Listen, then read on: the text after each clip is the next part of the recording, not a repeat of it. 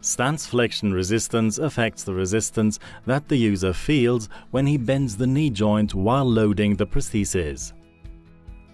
For example, it is the resistance used when sitting down or when descending stairs or slopes.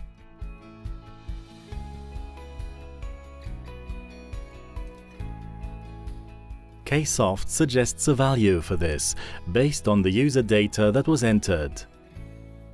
Determine the optimal value for the user by making adjustments to this starting value. The easiest way to adjust this parameter is to let the user sit down.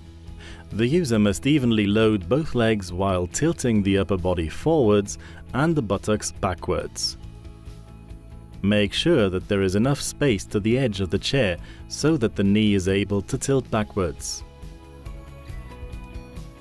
This rotational movement is used to detect sitting down and the knee joint switches to the individually set resistance.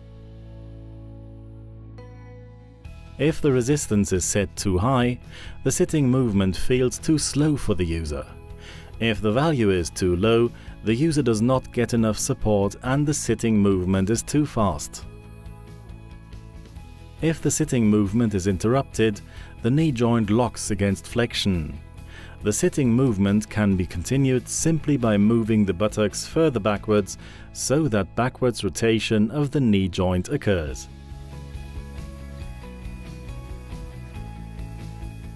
If the Kenevo is in mode C, check the stance phase flexion resistance setting, also when walking down hills and downstairs. With the optimum value, the user neither sinks too fast into the knee joint, nor is the user slowed down by the resistance.